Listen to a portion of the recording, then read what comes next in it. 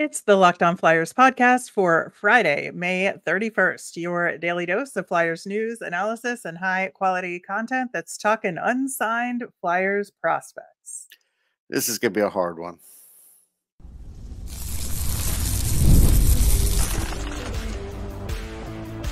Your Locked On Flyers, your daily podcast on the Philadelphia Flyers, part of the Locked On Podcast Network.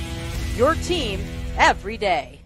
Hey there, and thanks for making Locked On Flyers your first listen every day. I am Rachel Donner. You can find me on Twitter at rmiriam. I'm here as always with Russ Cohen, who's on all your favorite social media apps at Sportsology. We are at Locked On Flyers on Instagram, Threads, Twitter, and Blue Sky as well. Today's episode is brought to you by Game Time. Download the Game Time app, create an account, use the code Locked On NHL for twenty dollars off your first purchase. Terms apply. You can find our show over on YouTube or on the SiriusXM app or anywhere you listen to podcasts. Subscribe to get our latest episode as soon as it's available here on the Locked On Podcast Network, your team every day. Russ, before we dig into those unsigned prospects, just a quick Memorial Cup update for our London kids. Uh, they did win versus Saginaw 4 to 2 on Wednesday, but it was a fantastic game. I did watch it. I watched some of it. I haven't caught up with all of it. Yeah, I mean, Saginaw is definitely resilient, but London's Mhm. still the better team. I think we all knew that. I know, but I did say that Saginaw was going to come at London and and Yeah. play really hard, uh, given the history there. And so the game was one to one, then two to two. Easton Cowan scored with a 125 left in the game to make it three two. Then Cowan got an empty netter to seal the deal.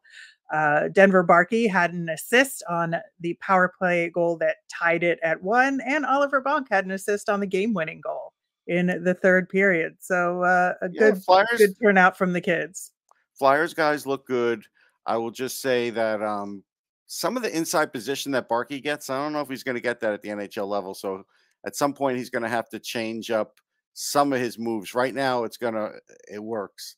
Um, and as far as empty net goals, I'll take the Kendall Co- um, Kendall Coyne Schofield yes, empty netter over over the Easton Cowan. Just my personal preference. I think so too. I think it was a better overall effort there uh, for the Walter Cup The speed, the the speed was there. That was yeah, good. yeah, yeah, in the PWHL. Uh, congrats to uh, Team Minnesota who won the first PWHL championship there uh, as well. London is going to play Moose Jaw or the winner of Moose Jaw versus Saginaw uh, for the Cup on Sunday. So stay tuned for that. Turning our attention to the unsigned Flyers prospects. Now, we're not talking anybody who's unsigned, just people who've never had a contract, who've been drafted, uh, but who've never had a contract. And just talking about them in the order, I think, uh, of likelihood of getting signed with the forwards. Obviously, Matvey Michkov is at the top of that list. The No, one thing I would add for him is I'd say it's probably going to be a two year, not a three year. I would say so. Uh, next on my list is Alex Bump, uh, who's been pretty successful. And I uh. I, I I would say Cole Knuble is probably next on my list, uh, although the person after that, who we're going to get into in more detail, could overtake him, I think, if next year goes well. And that's Devin Kaplan. Yeah, these next three, and let's just throw Owen McLaughlin in the deep end here too. These next three could all get turned around for me next year, depending on how they do. So we'll go through them one by one. But yeah, it's it's close. It's very close. And then I would say the next batch is Ryan McPherson and Alex Ciernik. Uh, they have had mixed seasons. Yeah. Um, and we're going to get into the details on Santeri Sulku, who I think is the least likely of the uh, remaining forwards to get signed by the Flyers at this point. Bryce Brodzinski gets an asterisk because he's still technically on the list, but he's not Correct. getting signed by the No. Flyers. So, um, for the defenseman, I think Carter Sutherland is the most likely to get signed by the Flyers, followed by Ty Murchison. Uh, Mateo Mann currently has a contract with the Royals. So, th- you know, he does have some potential to move up there, but I just don't see him getting anything more than an AHL deal. So that's why No, him same here. third. Yeah. And then, of course, Brian Zanetti is staying in Switzerland uh, yeah. for the duration, as far as we know. And then our remaining goalie is Yegor Zavragin, and I, yeah. you know, we've talked about him. So that's kind of the big picture of the current crop of Flyers prospects who don't currently have a contract. And it, is an interesting group because other than Michkov, there's nobody left with, like, I would say, a huge amount of talent or potential to be a top NHL player. The Flyers have signed all of those guys already, which is a good thing. Sure, it is. Yeah. So, all right. So let's let's talk um Alex Bump. So right now he's 20, he's going to be 21 in November. He's just finished his first year, nice first year. Uh, but we have to remember now that he's going to get to be on the higher end of the age bracket in college at some point. So right now, he's a 50 50 in my mind because mm-hmm. uh, he's going to have to even do better next year, I think, to get their attention to get signed in the future. And I don't think he'll, he might not get signed after two years, might take him a third year. Right. Now he's with Western Michigan. Yes. If we recall in the NCAA was a fifth round pick. And I would say he's doing better than I would have expected as a fifth rounder, but still isn't where he would need to be to he's get not that popping ELC. quite right yet. Mm-hmm. Yeah. So Cole Knuble, I like Cole. I like his work ethic. I think there might be something there longer term, but right now I wouldn't sign him. And he is going to have to have a much better year next year. He uh, he'll be 20 in July. He's a little younger than Bump, so there's a little more runway but he still needs to pick it up. So if he picks it up next year, uh, I have to start considering signing him. But it has to be a really good year. Right. And he had just finished his first year with Notre Dame. Yes. Um, where he had 20 points in 36 games. So like not a terrible first year, but no. definitely room to grow here. And I, I do think like the the opportunity is there. He just has to take it at this point. Yeah, I agree. Yeah, we'll get into Devin Kaplan in a few, but all right. So Owen McLaughlin now we have to have a hard conversation about because I like him. I like the point yeah. total. Uh, was he 20? He's going to be, um, so he's a guy now who's kind of like a tweener. And again, look, for a seventh rounder, especially one that you draft out of high school, like certainly has a chance. But he, you know, he's 21. He'll get through the whole season 21. He's going into his third season, more than a point a game with North Dakota. He don't think he's strong enough to be a center, honestly. So he's kind of like third line or bust. He's one of those guys in the NHL where right. it's like either he plays the third line or he probably can't play at all at the NHL level. Maybe he could fill in, you know, a little here and there. So, you know, this is a guy who, and clearly, you know, I'm looking on Hockey DB, he doesn't weigh 158 pounds anymore. No, it's just funny that's what they have met for weight. But he's certainly like not draft a, weight. yes, but he's not at an NHL weight yet either.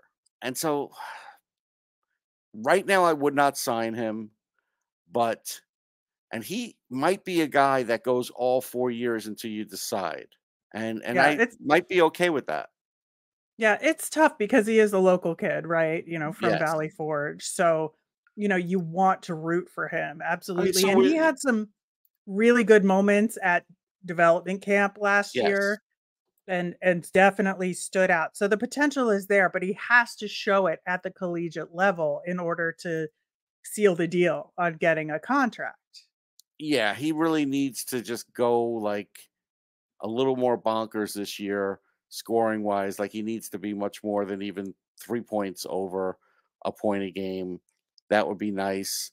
You know, right now, yeah, he he needs to come into the NHL at like 180 at least if he wants to have a chance. So right now he's just far behind that. With Ryan McPherson, it's it's interesting because he spent this past season in the BCHL, right? Playing right. for Penticton, which is a really good program in the BCHL. No question. One uh, of the best pro style complex there. Yeah. Yeah. So 38 points in 54 games played. So he didn't like completely blow the roof off the joint there. But again, it's a really good team and a good program overall. He is uh, scheduled to be at the University of New Hampshire this upcoming season, which is going to be a huge transition for him. And this is kind of like if he can swim in the sink or swim of the collegiate level, he could still have a chance. Right now, I don't think so. Yeah, right now I'm going to say no because I also don't like what he did in the playoffs, four assists in 22 games. Uh, should have been better than that. But let's see what he does in New Hampshire. This year is big though, because right now it's a no. Yeah, I would say so. Uh, Alex Ciernik is another question mark for me because, um, first off, I, I, think it's a little hard to gauge uh, where he is right now um, because there have been some injuries, if I recall correctly. Yes. Well, yeah, he's him. not play. He's another one like kind of like uh, Tuamala, where you know early on here he's not playing a lot of games. No, so I just there's I have no concept of where he is. So it's not a no, but it's like nowhere near a yes either. I mean, I've reached out to some people overseas and he's not thrilling anybody. And while he had that great draft story and we all appreciated it, uh, right now that's my best memory of him. Uh, his skating's mm-hmm. good, don't get me wrong, but he's also 5'10. And so as a 5'10 left or right winger, but it's lift, listed as a left winger, it's going to be hard for him to, you know, to get into the NHL. He's going to have to really come through with a big year this year in the SHL. He's going to have to have a full season. He's going to have to be one of his best players. And because if, that's a no, because he's going to be 20 in October, and then I have to start thinking, mm, all right. I mean, I, I might still want him for organizational depth and an occasional play up at the NHL level because I think he could be a good AHLer. So he's a guy I probably hold on to because I like what he probably at least what he could do in the AHL. All right. So that is the forward landscape, but we're going to dig a little bit more into Devin Kaplan and Santeri Sulku coming up next.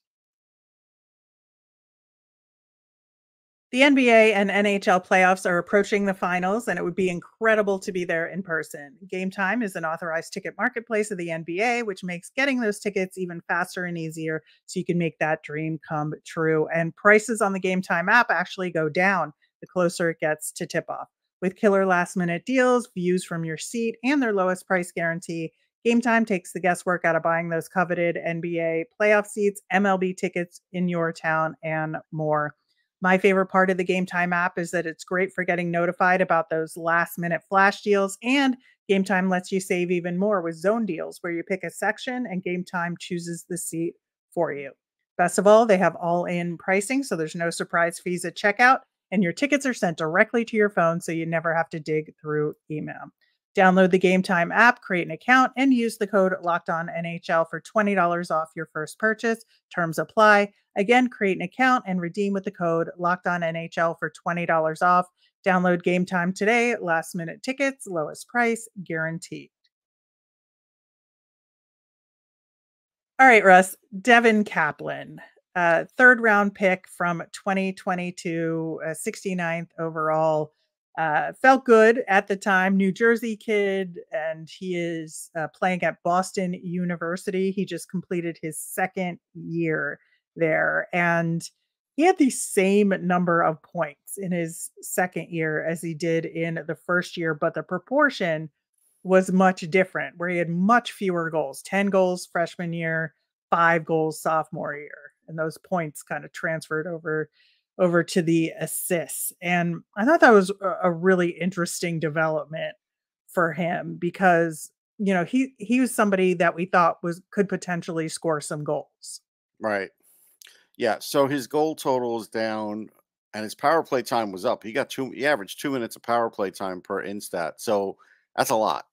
So mm-hmm. the last thing the Flyers need, of course, this is years from now, is another guy who can't score on the power play. I kid, but still, you have to look at it. He's getting all that time.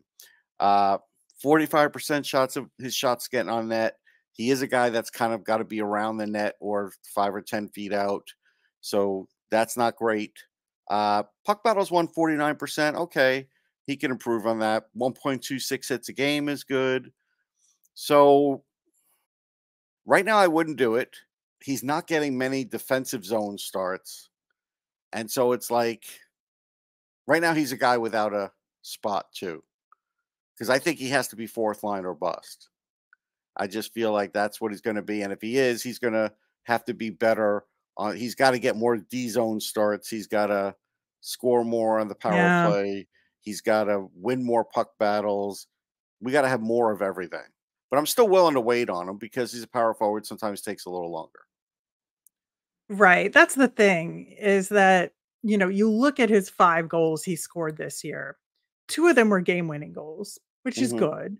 Mm-hmm. But he he went from November 18th to January 20th without a goal. Yeah. I mean, that's a long time. And then his last goal of the season was scored on February 12th. Um, you look at his play for Boston University, which you know is a top program, but if you're going to get that ELC with your team, your sophomore year has to be pretty good, right? And has to show progress. And he played, I would say, his freshman year a little bit on the second line, but mostly third line minutes, right? His sophomore year, he played a mix of the third and the fourth line. And in the last game of the season, he was definitely on the fourth line. So I kind of spot checked where he was in the lineup throughout the season. And it was a little more fourth line than third line, I think, as the season progressed. Yeah, that's not great. And then you look at, again, when we talk about the power play, I'm going to guess he was on power play too. Uh, because of you know, and I remember watching a little bit because you know you had guys like Lane Hutson, Luke Tuch, some some more, but Luke Tuch even only had nine goals. Uh, Hutson at 15, and Hutson's a, mm-hmm. you know, he he could really make things happen out there.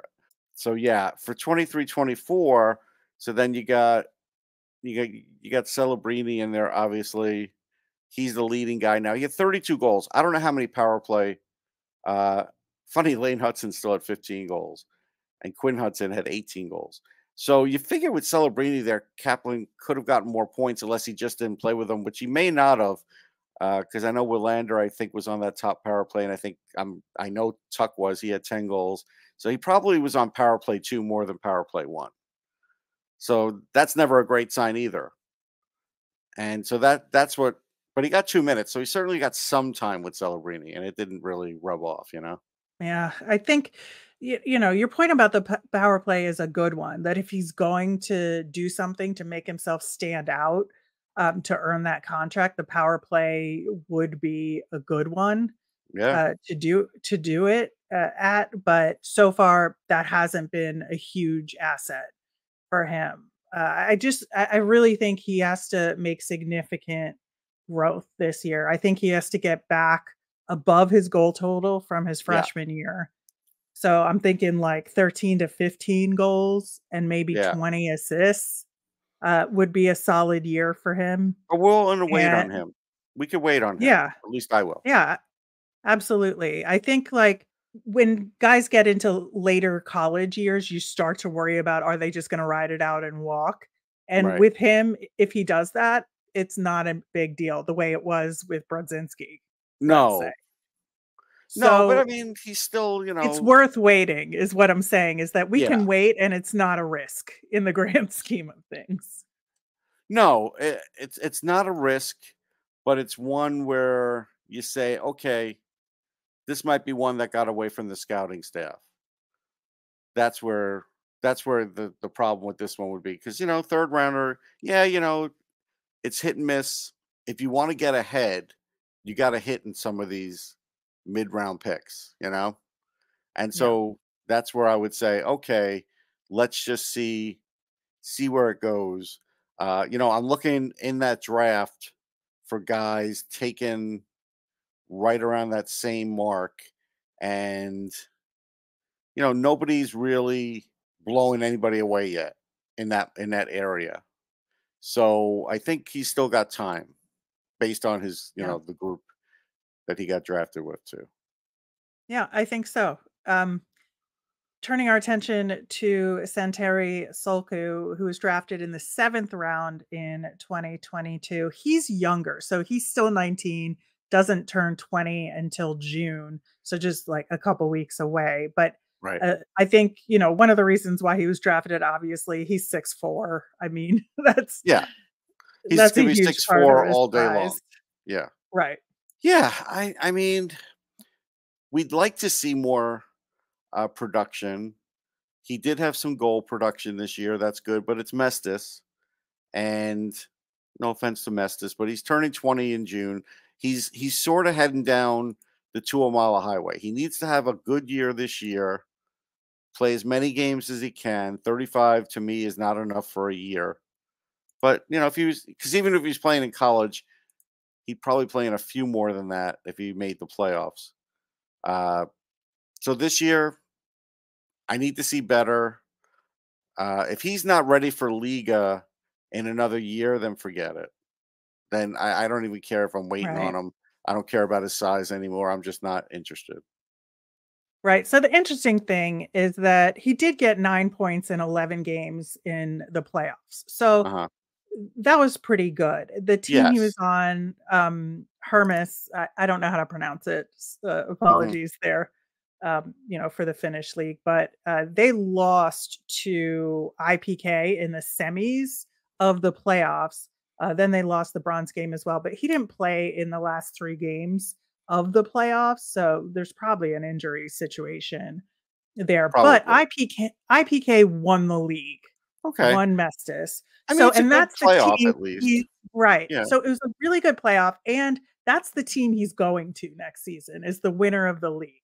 So that being said, I think you know he has an opportunity, even though it's Mestis, it's the top team at Mest in Mestis, and so you know I, I think that's at least a good environment for him to be in to give him a chance to succeed. it's a good environment. I, I'm not going to knock that.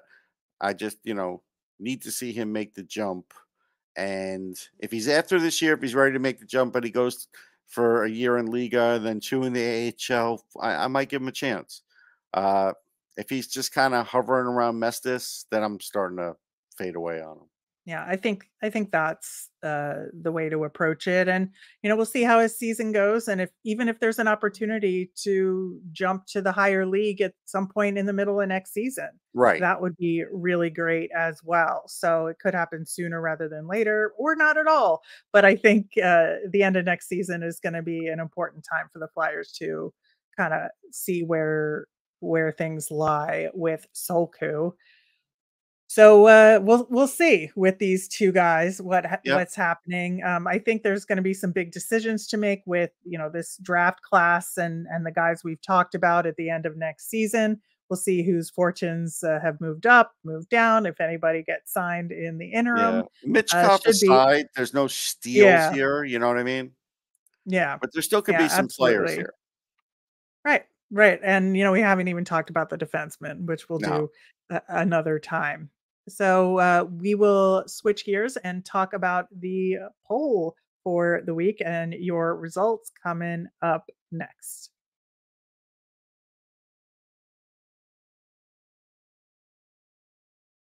So this week's off-season summer poll was which NHL team is poised to make the biggest splash at the NHL draft. We brought this up because there was some wheeling and dealing with picks that happened, uh, as well as just you know the order getting more locked in and people changing personnel and management. And so your choices were the Carolina Hurricanes, Chicago Blackhawks, Columbus Blue Jackets, the new Utah team, and the Toronto Maple Leafs. And the winner, but not by, I would say, a huge margin, but definitely the winner here is the Chicago Blackhawks. That y'all think the Blackhawks are uh, the most likely to make a big splash here. I don't disagree necessarily. No, I mean, based on the fact that they made that trade early to kind of Mhm. um, fix their alignment of first round picks means that there's probably something else on the horizon. So I think that's what we're all going with those breadcrumbs. And I think that's fair. That's a little trail there. Yeah, and you know, I think that they're really looking forward to building around Bedard and to see what they do this year to Right. to do that and move their rebuild along is going to be really fascinating to watch. I think whether they use the picks to leverage getting a more of a support player for him uh, that's currently in the league, or they pick you know additional draft picks that have a faster path to the NHL so that they could join him sooner rather than later. I think all of it is going to be really interesting to watch uh, from afar, and I'm glad we are not in their division. Um, the next two teams were very, very close in the voting. The Utah team and the Leafs were at 26 and 24 percent. Uh, what do you think about that? I mean, Utah definitely. Uh, Mhm. Utah for you know they have a ton of draft capital and they certainly are going to want to make some sort of splash for their fans and I think they are definitely going to try and get a goalie because Vejmelka has not been good. So I could see some sort of goalie trade going down. I kind of remember one draft that I was at, maybe maybe it was back in the one in Raleigh, uh, where like Trevor Kidd got traded. I could see a goalie of that kind of level getting traded to uh to Utah and this one, you know, maybe it's Omar, you know. Yeah, that would be wild. Right. So so you know, we'll see we'll see if that happens. The the the Leafs, I don't see it. Uh unless you count big splash like basically getting a lot of picks for Marner or a mix of picks and players, but I don't think it based on the complications of like what Marner might want to do, contract and otherwise, free agency, I don't think Marner will agree to anything by the draft. Now, in free agency, he might. If he sees a team loading up, let's say it's Nashville, right? And Nashville's got some deal in place, like they might with the Leafs. Maybe it includes Saros, maybe it includes Askarov, whatever. Uh, probably Saros. But I think I still think Nashville wants to keep Saros. So, but let's just say they're close to a deal. Marner may want to see who they pick up in free agency before he agrees to it. You know, so that's why I don't think draft for them. Right, but I do think the prospect of a Marner deal makes people think that they could be making Yes, yes. Splash here. the chance of that. Uh, I would put Columbus, who's next, over the Leafs because I think Mhm. Don Waddell definitely wants to get things rolling, and you know I think he could do some things at the draft, and he could even do a player kind of swap. Maybe he swaps out some players he has there for other players, and maybe a few more picks. Who knows? Something like that where he really gets the fan base excited. Uh, he's capable of that, and I think that's possible. Uh, Hurricanes, uh, look, they just don't have faith in Eric Tulsky being able to make a deal. Just talking to to Tom Dundon, and I kind of agree with him. Unless they bring in another GM type before then, I don't think Dundon's going to do much. Now, maybe Necas, but I, I don't think he'll go at the draft. But if they bring in someone like Chuck Fletcher, as an example, uh, he certainly has enough contacts that he could get Necas dealt probably for some pretty good assets. So that one's up in the air. Yeah, I think so. Um, I think I agree with you that like my order would be Blackhawks, Utah, Columbus, then the Yeah. Leafs. Yeah. Um, here, I, I just I agree with you on your assessment of Columbus, and they just, you know, they've been stewing for so many years, and now, granted, they've had some of the worst injury luck you will ever see in the NHL, but even with that, I think that you know, if they go gangbusters with the picks that they have this year, they're going to be pretty dangerous for years. Yeah, I mean, Waddell said that he expects them to be good next year. So if he really does, that means he really has to, you know, get moving. yeah, I think so. And yeah, Utah's going to want to make a big splash for the fans. So I think that'll be fun to watch. I do uh, want to say this, going with the comments and all this Trevor Zegras stuff. Don't get your hopes up with Tre- Trevor Zegras. Uh, the reason the name is even out there is because everybody knows that, or at least we've heard that Pat Verbeek got annoyed when Zegras held out, right? But he did eventually sign. He didn't have a great year. I get it. They know what kind of talent he has, and they know what's com- coming there. So I think based on who they take in the draft, now they're kind of a wild card. They could go anywhere from Levshunov to Zayne Parekh to Helenius to you know what I mean. So I think it's going to be important to see who they take in the draft as to um, where Zegras might be going. If they continue to go defense, I don't think they're going to trade Trevor Zegras. If they get Helenius, you know, then they have Helenius and Carlsson and you know McTavish, and then maybe Zegras is, you know, expendable. Can be traded, expendable. Thank you. Could be traded at that yeah. point, and maybe that happens on day two. Then, so I'm not expecting it on day one, at least. Yeah, so that I, Anaheim was one of the suggestions in the comments of another team that could potentially uh, do something here, and obviously it is around the the Zegras issue. Um, uh, Mike commented, "Whoever gets the goalie they need will be the better team after," and I think that's like a really interesting way to look at it. Uh, you know, we did talk about that a little bit, and I think that you know if whether it's through a trade or you know then trading picks or trading assets so that a free agent is there's room for a free agent goalie that they want. Right. I think I think that the goalie movement this offseason is going to be something to watch. Yeah, obviously not everybody's going to get their wish, but I think Utah is. I'm I'm still going to say Omar to Utah. All right, you heard it here first, maybe. Um, I, I think that would be fun though. But uh, we will be back on Monday with another question to ask y'all. So looking forward to that and seeing what your responses will be. We'll have our nemesis of the week and more. As a reminder, we always want to hear from you. So if you've got mailbag questions or a prospect you want us to take a look at, let us know on Twitter at Locked On Flyers. You can email us at lockedonflyers at gmail or comment over on YouTube. I'm Rachel. I'm on Twitter at R Miriam. That's R M I R I A M. I'm Russ. I'm at Sportsology, S P O R T S O L O G Y. Locked On has launched the first ever national sports 24 7 streaming channel on YouTube that's also available on Amazon Fire TV and the free Fire TV channels app. Locked On Sports Today is here for you 24 7, covering top sports stories of the day with local experts of Locked On, plus national shows covering every league like Locked On NHL. Find Locked On Sports Today available on the free Fire TV channels app. Have a great weekend, everyone.